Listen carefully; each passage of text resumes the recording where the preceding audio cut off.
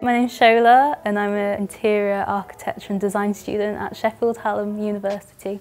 Over the last year I've been learning through a mixture of in-studio sessions and online lectures. My lecturers have been really easy to contact. If you wanted to have a proper sit-down chat over Zoom, they'd organise that for you even if it wasn't on teaching days. And of course you could come in and speak to them if they are available, where they can help us with our portfolios and help us with our drawings. If we needed any like laser cutting or 3D modelling, the technicians downstairs, they'd print them out for you and then you could just pick them up, which was good. All lectures are now recorded and put online, so if there's something you've forgotten, you can access them whenever you need. Another good thing is that we are able to speak to architects and designers from across the country who may not have been able to speak to us if they had to travel to Sheffield, which has been extremely helpful.